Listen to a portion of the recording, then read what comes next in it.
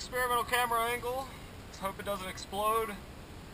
Somebody's gonna be really mad at me if I break the $300 camera.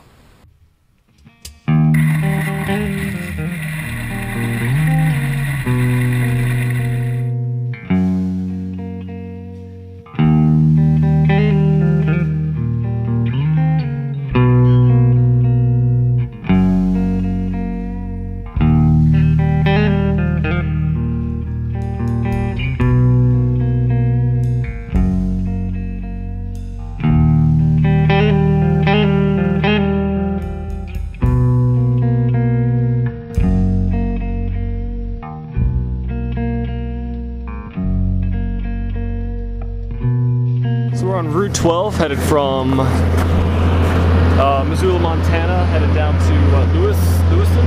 It's supposed to be a pretty uh, noteworthy road, mainly because of signs like this. Winding road next 99 miles. There can't be too many of those, like, you know, in the country. We've been driving on flat roads for the last 2,000 miles. I'm ready for it. You're not going to be seeing a lot of Jordan in this trip. It's so far behind. That's absolutely right. So we've decided that the United States is impervious to invasion. I mean, with these mountains, it's like Afghanistan, and I'm going to make that comparison because I haven't been there and I know exactly what it's like. but uh, you can see it's gorgeous. Yeah, but we're bigger than them. We're also way bigger than Afghanistan.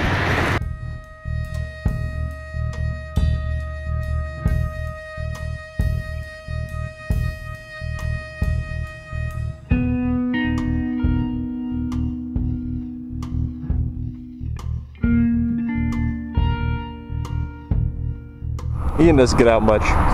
Know. He decided he wanted to run up on top of those rocks.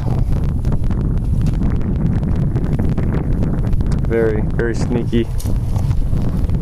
Where has Ian gone? Probably stopping to take a breather or something, maybe have a snack. People I would not like to be stuck on a deserted island with. Ian Sheely.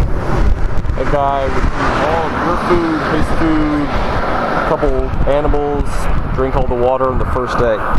Least efficient metabolism on the planet. There he is. He got up on top of the rocks. Let's see. There he is. We have found an acceptable camping site behind what appears to be a hospital that's under construction on a hill. I think it's a plastic surgery office. Yeah. I mean, we're in an empty parking lot that's under of a building that's under construction. So we're thinking that tomorrow morning, if the surgeons don't come through, the construction crew will. But by then, Surgeons will have their Bluetooth headsets in, and their Maseratis, listening to, I don't know, Steely Dan on the on their way into work, and probably won't recognize us. there's like a little barbed wire fence, and the grass should hide us. So they'll see two mysterious bikes with no riders.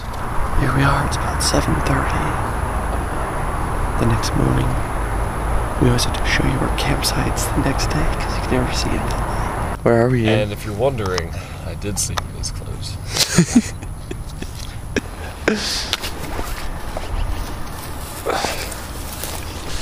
Smells like someone forgot to turn their fuel off.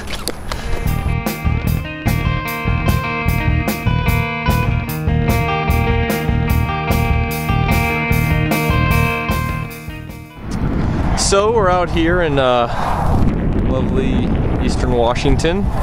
We uh, East Washington. yeah, it's been about 100 miles, so we're looking for gas, and we saw a sign. So we're doing a little loop. And fortunately, you know, I caught George just in time to uh, point out that he has been driving the tent for the last 10 miles. We don't really know how long. But considering the damage,